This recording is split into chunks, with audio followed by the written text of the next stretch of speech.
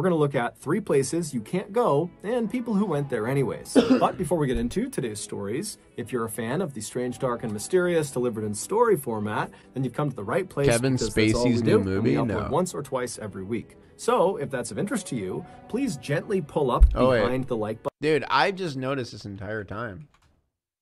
I don't have Chatterino up. I felt like something was off today, man. I, I, I felt it. There was something off, and I finally figured it out.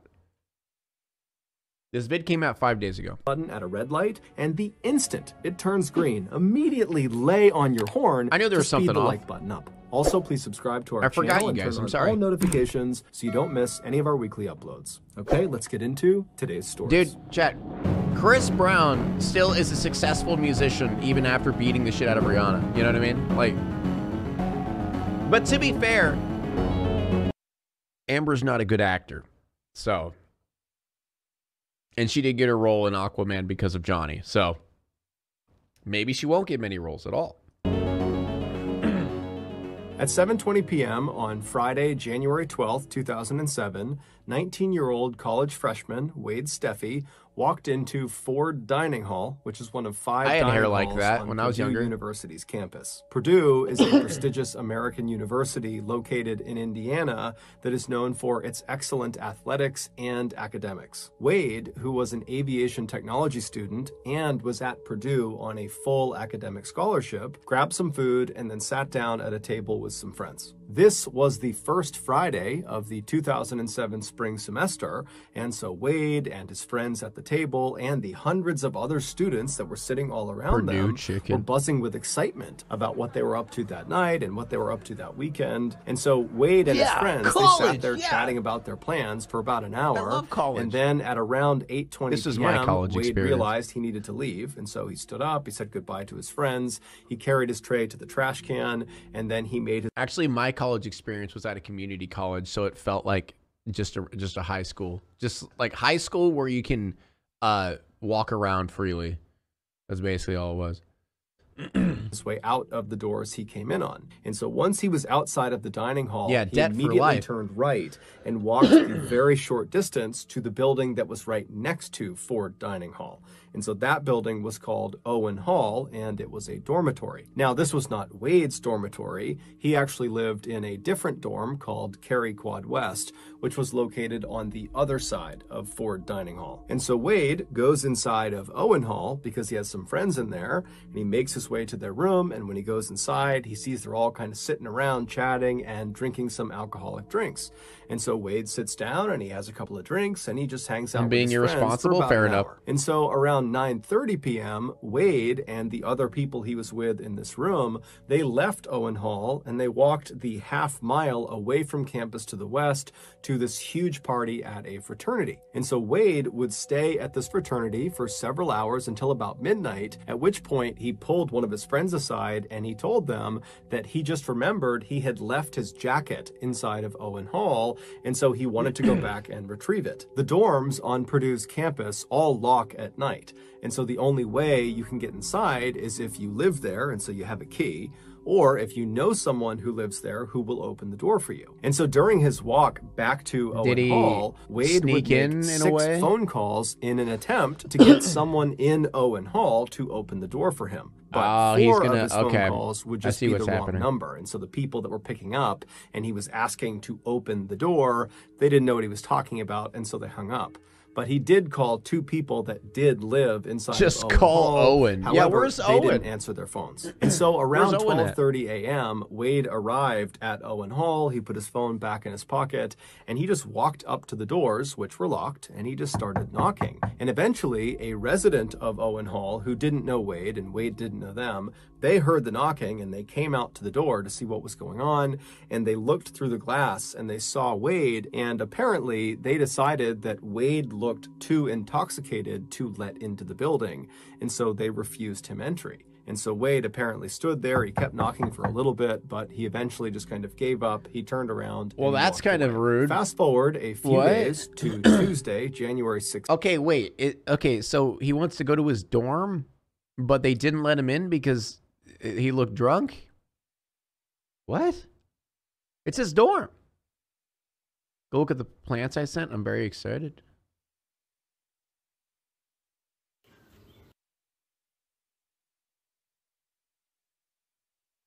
Oh, they look way better now. Yeah.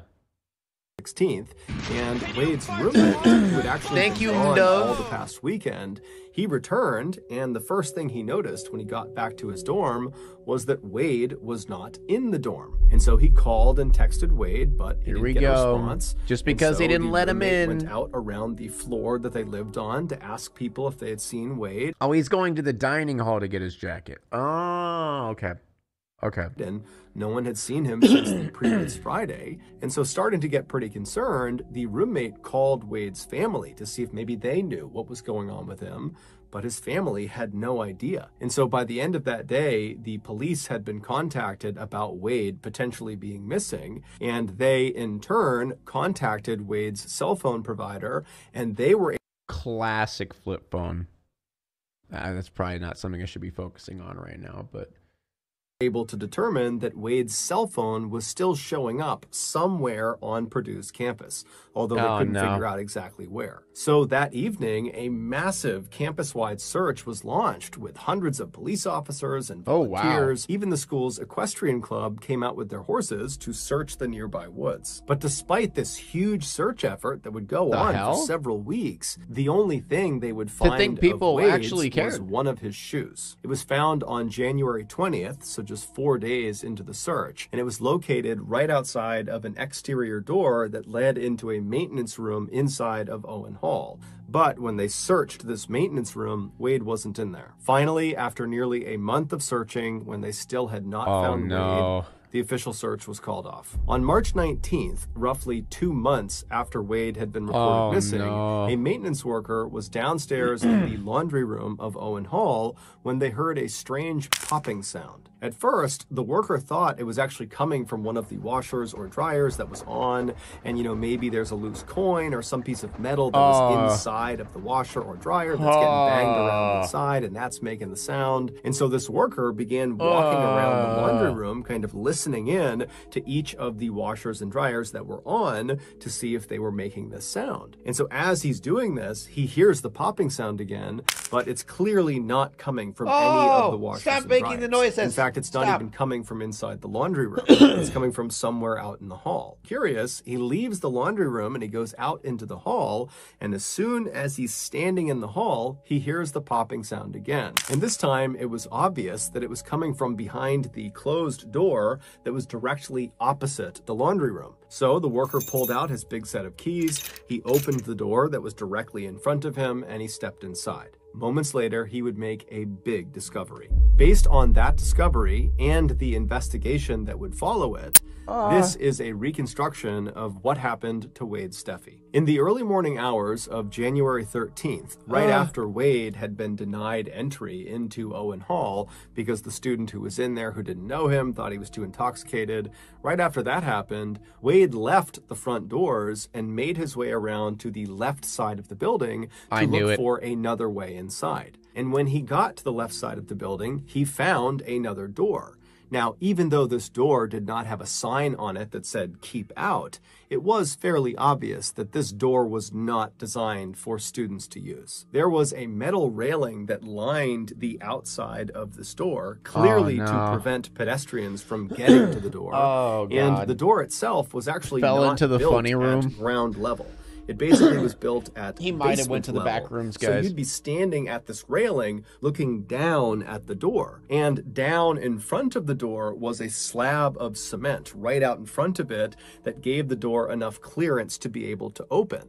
And so basically there was a railing around a pit and that was where the door was. The proper way to get to this door was to literally climb over that railing and jump down into this pit. And then you'd need a key to open the store because it was always locked.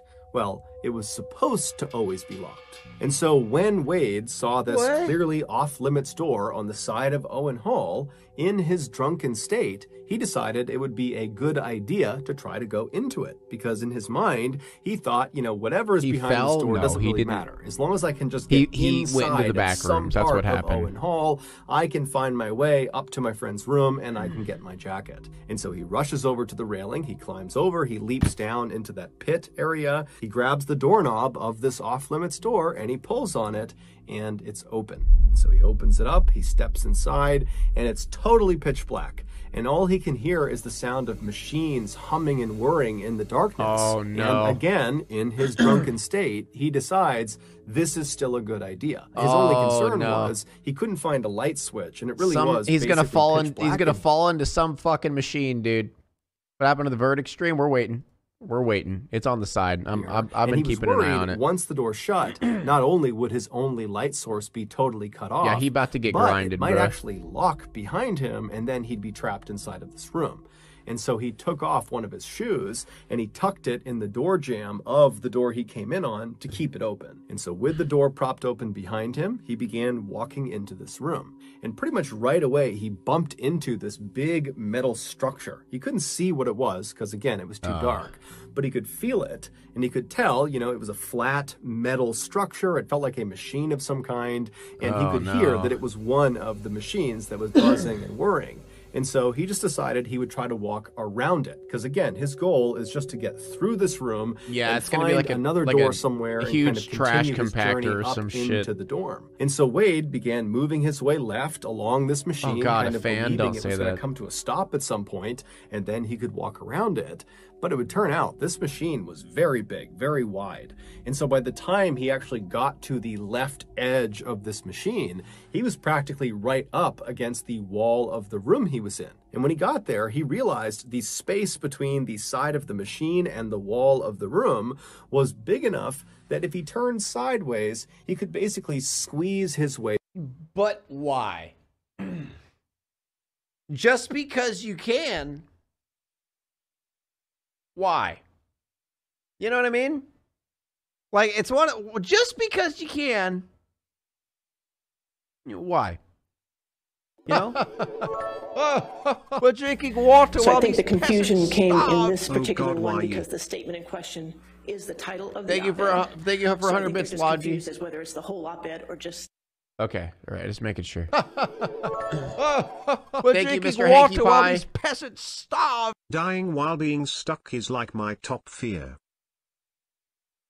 dying while being stuck yeah like in a claustrophobic eh, oh yeah like oh oh oh dude that would be like one of the worst ways to go like being in a claustrophobic air like the one i think the one that i hated the most is when someone got stuck in a chimney and then died like that would be awful way past it. Now, he had no idea how far into the room this strange machine went, but in his drunken state, he decided it was a good idea.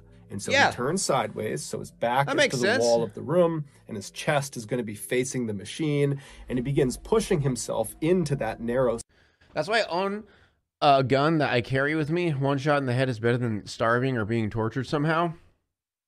Yeah, but like you got like the person who fell down the chimney, you can't reach your gun. Like you're fucked. Like like they, they were stuck like this. Like they couldn't do anything. Like you couldn't move. Like you you're you're just you're fucked. But to be fair, like most people are smart enough uh not to go down a chimney. So, you know. space. And so as he's making his way, his Or- hands are up, squeeze kind of protecting his in- face in and neck, between two and at some point he kind of begins to trip. Now, he didn't actually fall because he's basically wedged into this tight space.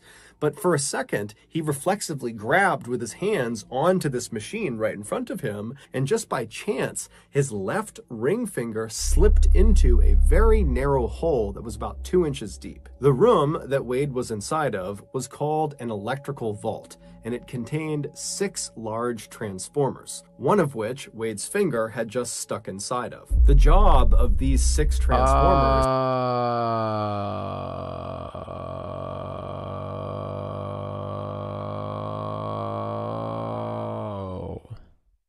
Is to take the high voltage they receive from the main power grid and then transform it, hence the name, into lower usable voltage that gets dispersed into Owen Hall for residents and teachers. Even though the outside of these transformers had mostly been covered with protective materials that mitigated the electrocution risk, there were still several parts of these machines that there was just nothing you could do. They just presented a really high electrocution risk.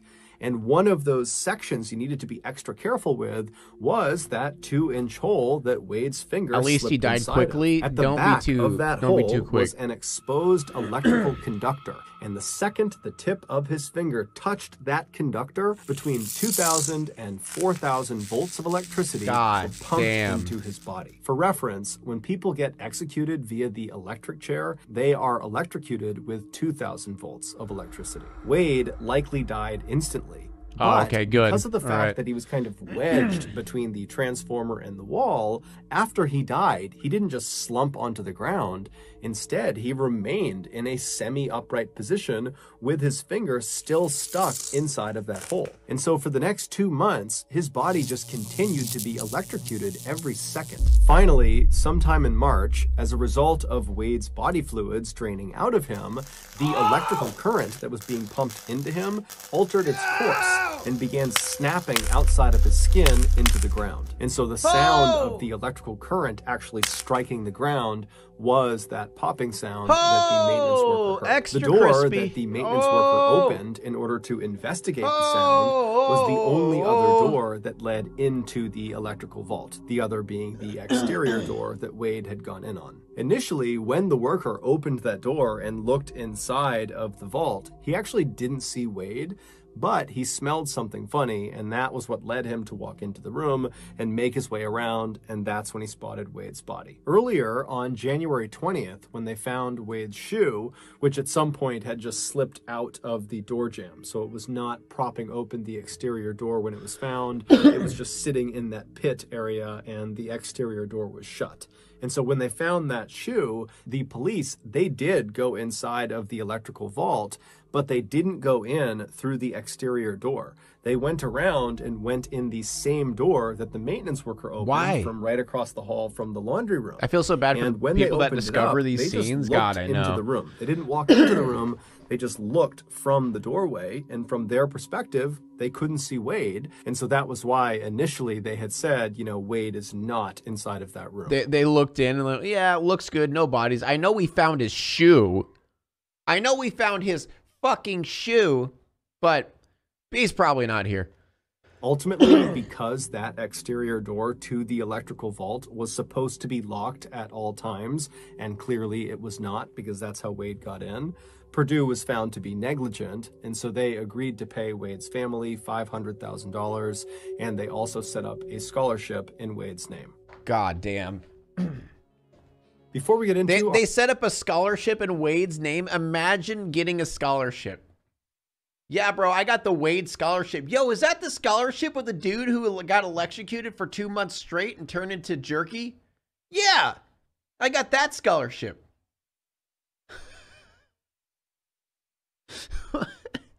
Well, you got the scholarship of the dude who got brutally uh, uh, massacred by an electric current? Yeah. That- yeah, I got that one.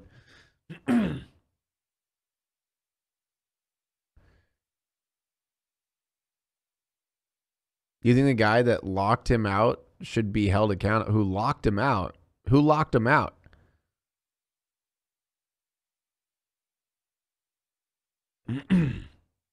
yeah, give me that one. Listen, I'll take any scholarship. Respect the grind. Fair enough. Fair enough.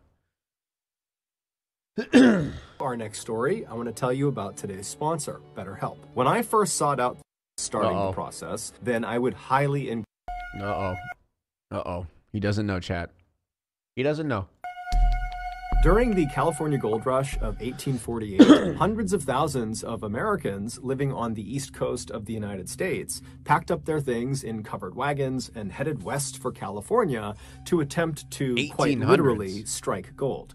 About a year after the rush started, so in the winter of 1840. Oh no, hope no one nobody dies. Yeah, every time I start a Ballen video, the first thing I say is, "Oh geez, I hope no one dies in this video." oh boy, I hope I hope no one dies. every time I start a Ballen video. 49, a group of about 100 Your birth year, right? Okay, fuck you. were on their way across the continental United States to California when they got lost in this totally barren stretch of desert, roughly 500 miles from their destination, which was San Francisco. They would spend the next two months driving around this desert looking for a way out, but they wouldn't find it. And so finally, they just stopped, set up camp, and waited to die. But as a last ditch effort, they sent ahead two of their fittest men to try to go out and find help. And miraculously, those two men would find help, and it wasn't long before the Happy lost ending? pioneers were going up and over this mountain pass. When is the verdict? desert I have no idea. Whenever so the jury the decides. pioneers are cresting this mountain, one of the supposed to be pioneers today, turns and looks know. down at the desert valley below where they almost all died, and he famously said, "Goodbye, Death Valley," and the name stuck. While Death Valley has since become a very popular tourist destination, Okay, that's that's a cool history lesson. I didn't know that's why it was called Death Valley. That's cool. for adventurous people, it is still truly one of the harshest environments on the planet. In addition to just being a big open desert, which presents a whole host of problems to any mammal, Death Valley also becomes one of the hottest places on the planet every summer. The temperatures soar to 120 degrees Fahrenheit and sometimes get as high as 136 degrees Fahrenheit. It's the kind of place where if you don't respect it, it will kill you. In 2005, a 35 year old man named Robert Darmer, who lived in Los Angeles, California, decided he wanted to take a trip into Death Valley. Specifically, he wanted to go Hey, honey, where you want to go on a trip? Oh, I don't know. I, I guess we could go to like you know, like the Grand Canyon, maybe like the Rocky Mountains. Eh, you maybe we go to Disneyland, or you know, just go to the beach or something like that. You know what I want to do? I'll go to Death Valley. I want to, I want to go to I want to go to Death Valley. You mean the place that's just a barren desert that reaches extremely hot temperatures that potentially could kill you? Yeah, I just feel you know? Let's take a vacation out there. I, I think it's gonna be a fun thing. You know, who does that? Who the hell does that? No, no normal person does that. Go to the hot springs located in the northwest corner of Death Valley. And actually, there's a nudist resort that is right around those hot springs. And so Robert wanted to go check that whole scene Oh. out. And so on July check that whole he wants to check that whole scene out i see what you're doing i see what he's doing chat like 30 something year old man wants to go out to a nudist resort let's be real it's mostly dudes let's be real chat. Come on. M- most people who go to a nudist resort is just dudes hanging dong. 26th of that year, Robert left Los Angeles. There's in nothing his wrong with that. Volkswagen van. I'd be down with that. North about 4 I'd hours like to see it. until he got to Bishop, Compare. California, which is a You know? small town where some of his family lived. After spending the night with them, the next morning when Robert got up, he got back into his van and he drove south about 20 minutes to a town called Zurich, California, where he picked up Death Valley Road. This road covers the entirety of Death Valley, starting from its northern entrance, where Robert AF. was, all the way south 140 miles to its southern entrance. And Okay, imagine this though. Like, okay, I, I okay, we'll get back to you know the. Uh, imagine this man is just like a Reddit moderator, and he's never touched a girl or seen a girl naked besides just like you know looking it up online.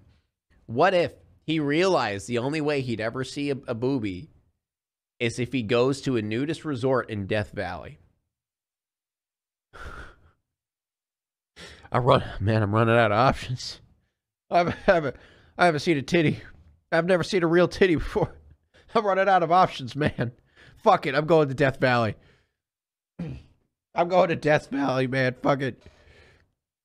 this road is actually basically a straight line. But off of this very straight road are literally hundreds of miles of unpaved so roads down bad. that splinter off in all directions across the desert.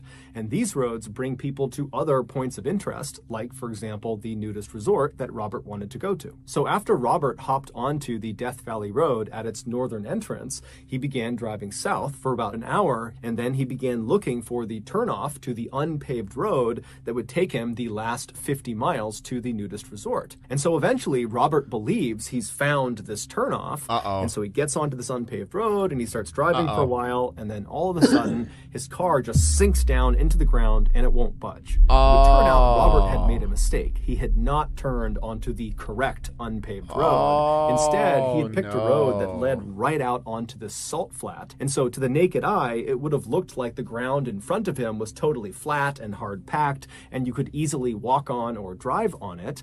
But in reality, the surface of the salt flat is very brittle, and underneath that brittle surface is this thick section of mud. And so, before Robert could realize his mistake, he had broken through the surface layer of the salt flat and got stuck in that mud. After trying Well- unsuccessfully to get his van back out again, Robert realized he was in a really bad situation. His cell phone had no reception, so he couldn't contact anyone, and he was too far away to attempt to walk to the nearest civilization to try to get help. But luckily, he had packed lots and lots of water that was in his van, and so he decided the only thing he could do was just sit tight at his van, ration out his water, and This wait for someone ending, on right? Death Valley Road to look out and see him and come to his rescue. But after waiting for six days, no one saw him. And now his water supply was dwindling, and so Robert decided his only option was to abandon his van and make the walk to civilization. See, that's what you should have done in the first place. If he realized he'd only had six days of water, why wouldn't he just go? You know? Like, wouldn't that be the better option? Because at least, you know, in, instead of waiting until you literally have nothing left, why, why wouldn't you just go when you had all that shit? And so he packed up all the water he could, he threw it on his back, and he began to walk. And just like the lost pioneers in 1849, at the very last second, Robert was rescued. As he Oh. stumbled across the desert, Oh. his canteen empty, this group of teenage boys and a few adults who were part of this group called the League of Venturers were out in Death Valley doing search and rescue training. And so they Oh. literally turned onto the Oh. same road that Robert accidentally turned onto and Oh. then got stuck on. And so they came down and found Robert. And Robert, when he saw them, he was hysterical. He was crying tears of joy. He really believed he was going to die probably that day. And so the League of Venturers, they take Robert into their van and they drive him 80 miles to the Holy nearest shit. ranger station. And as soon as Robert got out of the car, he dropped to his knees and he kissed the ground in appreciation. I mean, this guy really was that close to death. That evening, God Robert would hitch a ride from the ranger station back to Bishop, California. And the next morning, Robert spoke with a local towing company and they agreed to drive him out into Death Valley to locate his van and tow it back out again. But when they got out there and they found his No. Don't don't tell me that they get trapped too. And the towing company saw that the van was not in good shape. It had two flat tires, and there were several other mechanical issues with it. and they told Robert, look, we can't tow it out until the repairs are made, and we can't make those repairs right now. And so they left the van We can't tow it out until the repairs are made. What? okay. Am I stupid? Do, do, do you wh- what? So so when there's a wreck and a car turns into a ball of metal, a towing company looks at it. Nah, we got to repair that first. Then we could tow it. We got we got to we got to bring it back to to brand new, and then we'll tow it. Huh? Yeah, your taillight's out. Can't tow it. Oh, you got a flat tire? Sorry, we, we can't tow flat tires. Yeah, sorry, man. We can't tow you. what the hell? And where it was, and they drove Robert back to Bishop. And then when they got there, Robert, who was quite handy with his van, decided he would just make the repairs himself. No, Robert, you dumb, dumb idiot. Oh my God, you're joking. He's gonna die, isn't he? He's gonna fucking die, isn't he? And so he went around town, he gathered up all the supplies he would need, and then that evening he got a local young couple to give him a ride back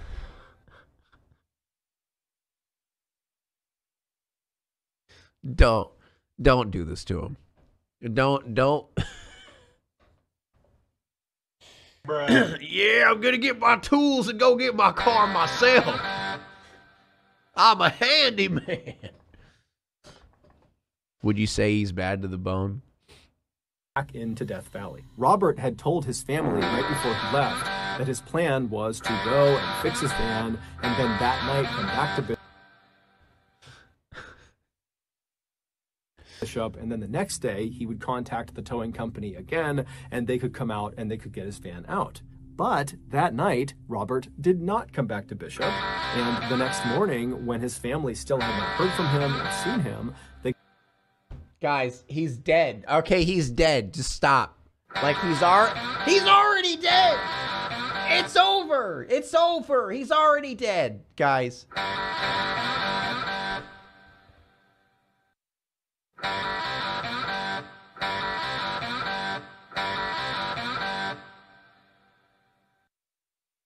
This was a mistake adding the sound effect.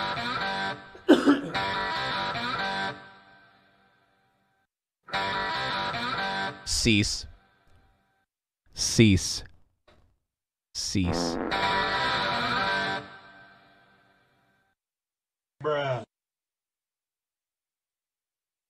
Cease. Cease.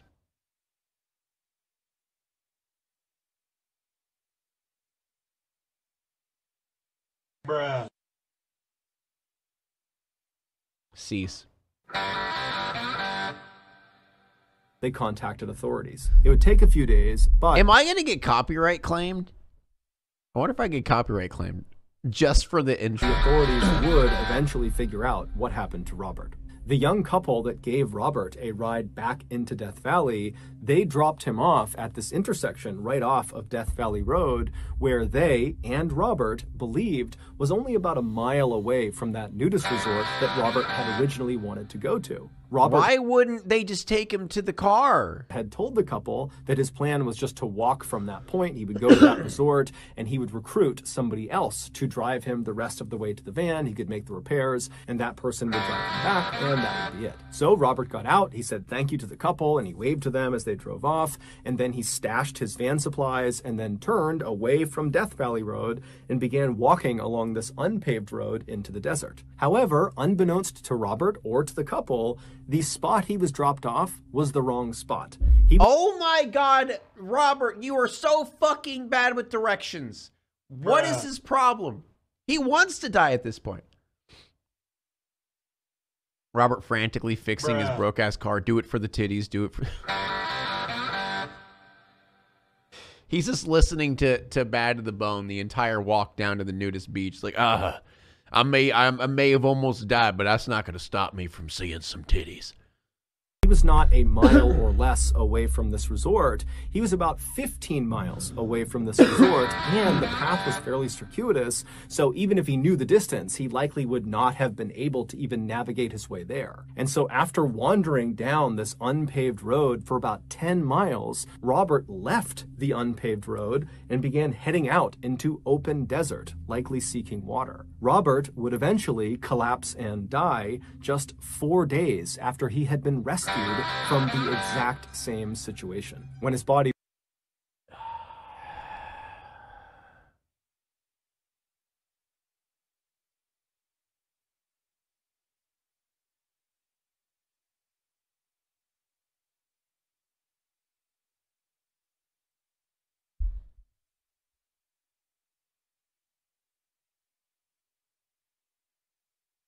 Ooh, savage burn. Does it count as a happy ending if he got rescued and then killed himself? We'll count it. We'll count it. We'll count it as a happy ending. All right. It was his fault. Like you can't even feel, you can't even feel bad for the guy. Like come on. You can't even feel bad for him. Was found, he didn't have a GPS. Died doing for what he loved, looking for nude people to help him fix his car. Dude, there's so many things he could have done that that would have prevented this. It, it's insanity. or a map or even a container for water. What? Did he want to die? I don't understand. In late 2002, 25-year-old Jason Chase Yeah, the verdict is still, uh, hasn't happened yet. We're waiting. Gisborne, which is located in the northeastern section of New Zealand.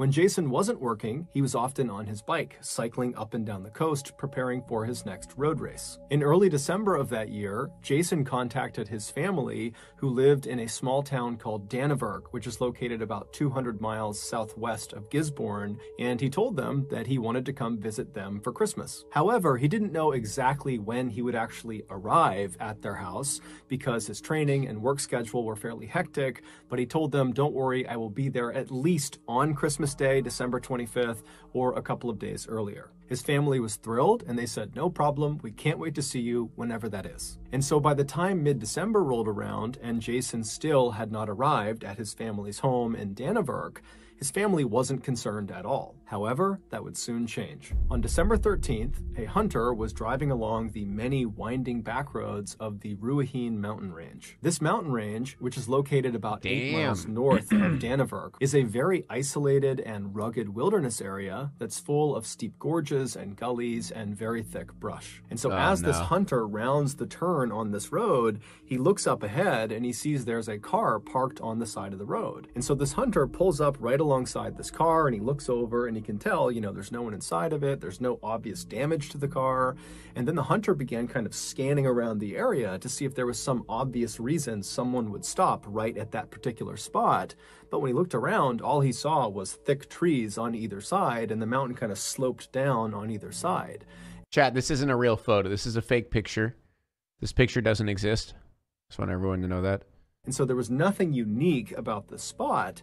And so something just kind of struck the hunter as odd about this car. It just seemed totally out of place. And so, operating on a hunch, the hunter would leave the mountain range and head into Dannevirke, and he would contact police and he would tell them about this car and where it was located. Because in the hunter's mind, you know, maybe someone had been. Man, I thought it was real, me too. and maybe this car is connected. And so, after hearing about the car, the police did not know of any missing person cases that were connected to a car that matched the description the hunter had given. But just to be safe, the police hopped in their vehicles and they drove up into the Ruahine mountain range and they went to the spot the hunter described. And sure enough, off to the side of the road is this parked car and it's still unoccupied. After inspecting the vehicle, the police came to the same conclusion the hunter did that there was no obvious signs of damage to the car that might have forced someone to abandon it. And then when they looked in the he window at the gas gauge, Like, they saw I the gauge confused. was full. And so the police kind of wandered around the area, kind of doing an initial search to see if maybe the owner of this car was nearby. But, you know, there was no one there. They're in this very isolated part of this wilderness area. And so the police just took down the license plate of the car and they went back to their station. And when they got there, they ran the license plate number and it turned out the car belonged to Jason Chase. When Jason's family was contacted about, you know, why Bigfoot is got him. car Cummy man got him. Mountains, you know, where's Jason? His family was pretty surprised. They explained to police that Jason had made plans to come visit them around Christmas time, and so they were expecting him to come this way. And you know, the Ruahine mountain range, it is only eight miles away from Dannevirke, so you know, in theory, maybe he stopped there on the way to their house. But they told police that just didn't make any sense. So, as a precaution, the police Sus. decided to launch a search for Jason. And unfortunately, Sus. despite hundreds of people on the ground searching the Ruahine mountain range and helicopters overhead flying all over the place, no trace of Jason was found. And so the official search was called off right before Christmas, but Jason's family and friends, they continued to look for him. And on January 3rd, they would find him. One of the family friends who had agreed to continue looking for Jason after the official search had shut down was a farmer who owned a plane. And on January 3rd, as he did one of his passes over the foothills of the Ruahine mountain range, he looked down and he saw this bright red thing that looked totally out of place. And the pilot couldn't tell what it was, and so he took note of its location. And then when he landed, he passed those coordinates off to the ground team. And so the ground team, they made their way over to this location, which was quite far away from where Jason's car had been. and after making their Maybe. way through some very kinda thick confused brush on and what very happened. steep sections, they eventually walked out to this big open clearing. It was a dry riverbed, and Not right a in real front of photo. them, in the It's middle not of a real it photo. was the bright red thing. It was Jason's shirt, and Jason was still wearing it. He was found lying on his left side with his legs stretched out. He had on his bright red rugby t shirt, some khaki shorts on, and he had no shoes or socks on. According to the searchers who first saw Jason in this dry creek bed, they would say the scene was very peaceful and it almost looked like Jason had lied down to fall asleep but Jason was not sleeping, he was dead. Jason had no visible injuries, and there was no sign of a struggle in the area. In fact, it didn't even look like Jason had been in the wild for very long because his clothes were pristine, and despite being barefoot, his feet were in great condition. Despite a lengthy search around the area where his body was discovered, his shoes and socks would not be recovered. The only Forests thing they don't found exist? in the No. area was a water bottle that belonged to Jason. Adding to the mystery of what happened to Jason were the results of his autopsy. The pathologist was unable to find any injuries. Jason also seemed well nourished because he had food in his stomach and he was hydrated because there was urine in his bladder. His toxicology report also came back negative for all drugs, medications, and a range of common poisons. The only odd thing the pathologist found during the autopsy was that Jason had two very small ulcers in his duodenum, which is the first part of the small intestine. According to this pathologist, What would that do? these type of ulcers only appear from acute stress moments before death.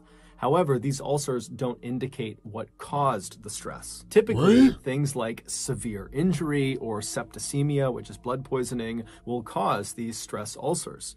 But Jason had neither of those. So at the end of the autopsy, the pathologist concluded that Jason had not been the victim of a homicide, he had not committed suicide, he had died from, quote, obscure natural causes. Interestingly, though, the pathologist was able to determine with some certainty that Jason died on or around December 30th which means he was alive for the entirety of the official search for him, as well as the bulk of that private search conducted by friends and family. After the autopsy results came out, Jason's case was closed, and his family, despite having lots of unanswered questions, was forced to just move on. 15 years later, the same pathologist that had conducted Jason's autopsy was talking to a colleague about Jason's case. And as he was describing where Jason was found, the colleague suddenly stopped the pathologist and said, Wait a minute, I think I know what happened to him. And it would turn out he did. The following is a re- radioactivity. Anytime they don't know why he they die, I feel like it's it's it's radioactivity. reconstruction of what happened to Jason Chase. On December 13th, 2002, Jason left his home in Gisborne and began heading south towards Dannevirke, where his family lived. But before he got to his family's home, he took a detour up into the Ruahine mountain range where he eventually parked his car on the side of the road. Once his car was stopped, he got out and collected his backpack and sleeping bag.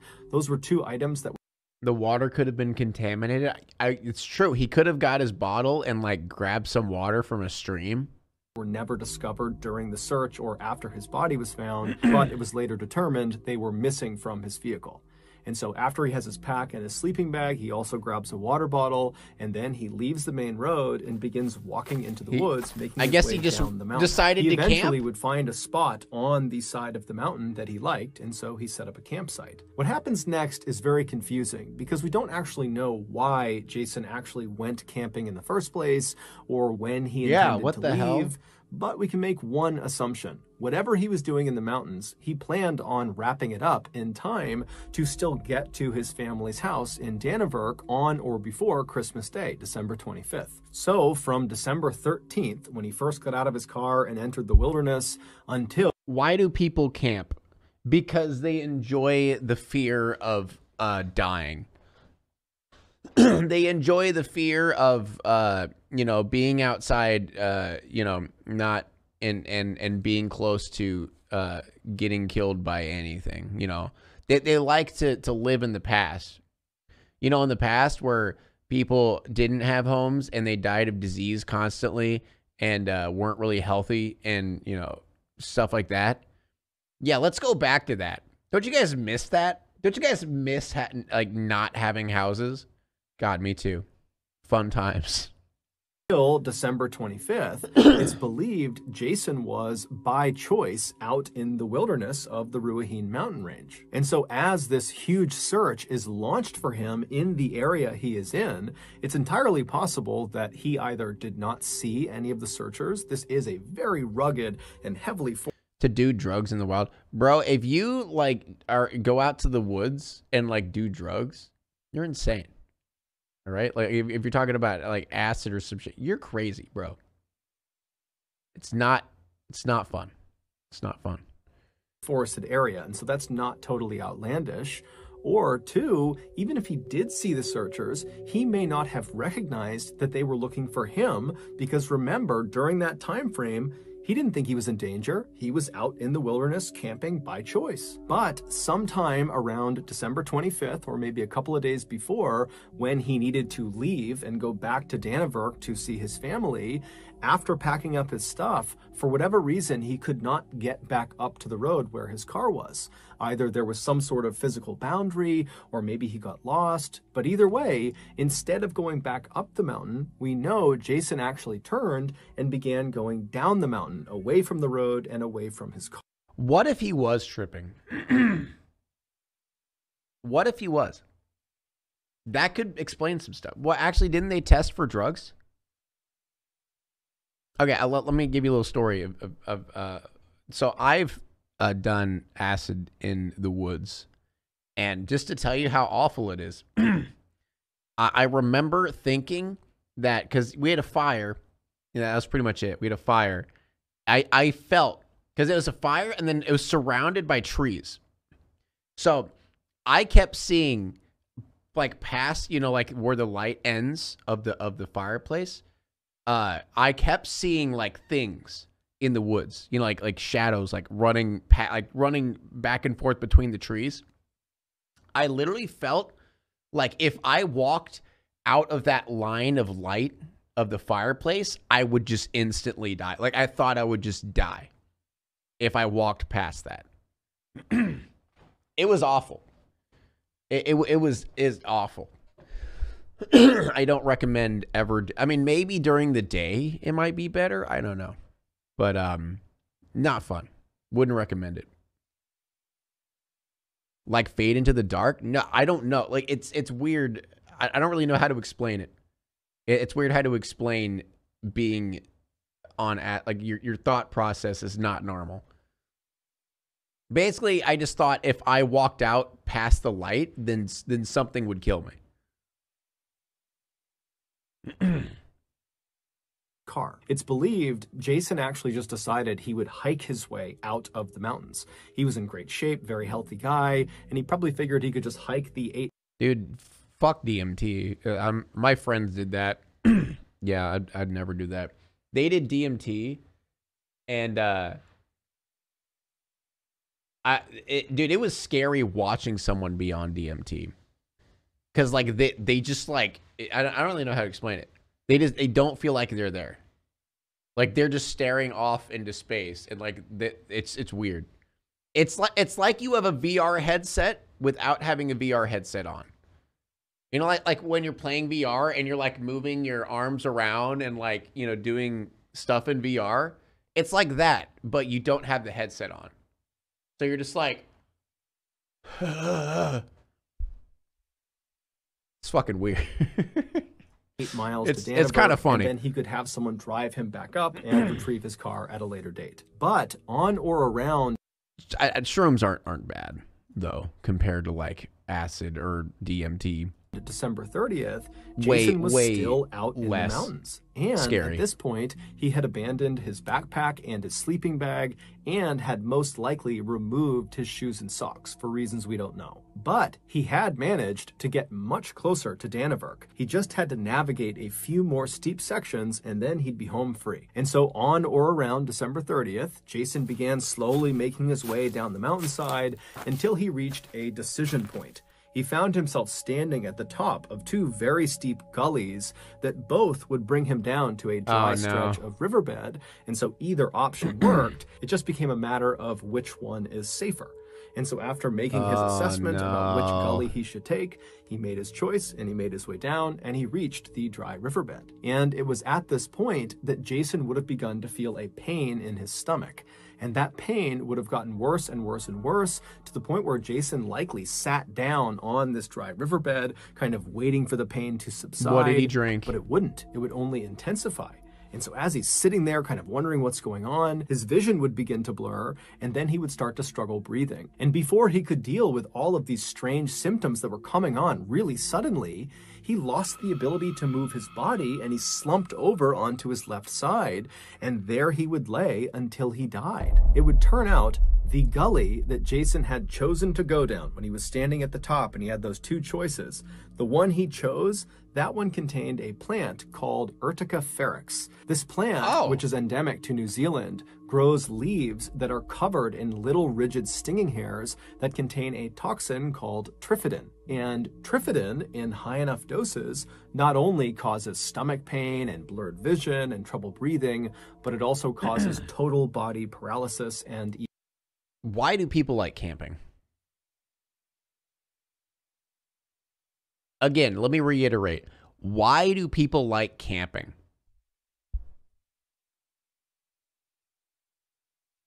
I just want I don't know. I don't know. oh yeah, Dara, what, what you said earlier, where was it at? Yeah, I just have a bad fear of not being in my right mind. Yeah, don't don't ever do it then. anyone who ever has that fear or, or like the, the fear of that yeah don't don't do it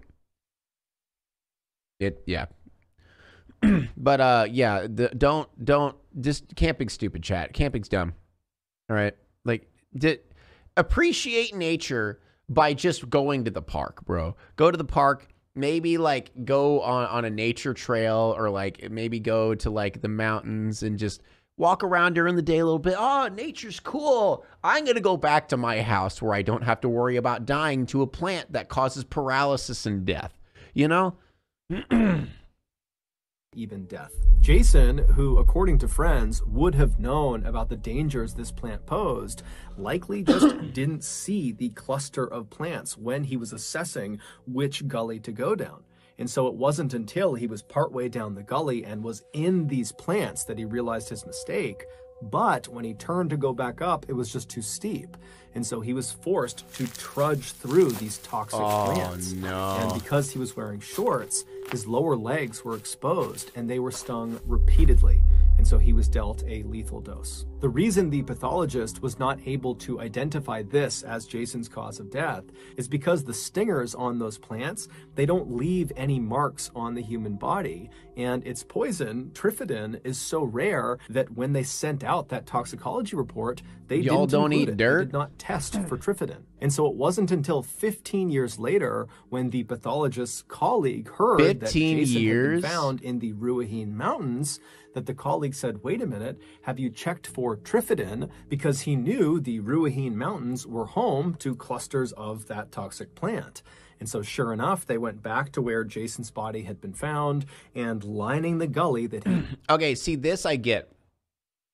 Now, but the thing is, I get that. That there's like when I when I watch those cozy videos of like someone building a, a log cabin in the middle of the woods, I feel like I would I would vibe with that, bro. I wouldn't mind like just like the nice log cabin out in the middle of the woods because it's a cabin. You know, you got a little bit of protection. You know, got a little bit of safety. You got a little bit of security. Not a fucking tent. You know? Not not a tent. No, that's not camping. No, yeah, yeah, that's right. That's not camping. That's called living. That that that's what that's called. That's called enjoying life and living smart because we are humans. You know, we're humans. We we evolved to the point where we realized, hey, staying outside at night without any protection or a roof over our head, kind of dangerous, bro. Maybe we shouldn't do that. sleep in your car? no, I'm just going to sleep in my house.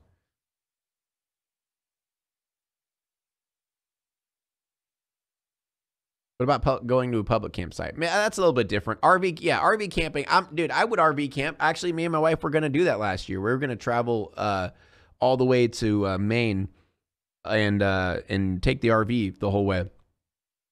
We were gonna do that. Uh, RV camping, I'd, I'm I'm down with that. I'd do that for sure. But yeah, the thing is, if I have a a, a, a place to sleep where there's protection, let's go. You know what I'm saying? but I ain't sleeping outside in a tent. he had come down were dozens and dozens of those plants. so God, that sucks though. That sucks. That's such an unfortunate way to go, dude. But again, a lot of these stories, it you have that concept of why. Why did he go camping? Why did he go down the mountain? Why didn't he just go back to his car? Uh, why did he leave his car in the first place? Also, the dude who decided to go back to Death Valley for some titty. Well, why? You know, and also, why didn't someone just drop him off at the nudist area? Like, it, it's it's so confusing. Now it's time to walk away. I hope you enjoyed your stay. Did you laugh or cry or maybe subscribed? I'll thank you either way. You know I will miss you. I hope you return. Tell your friend or your mother to get me more views, please.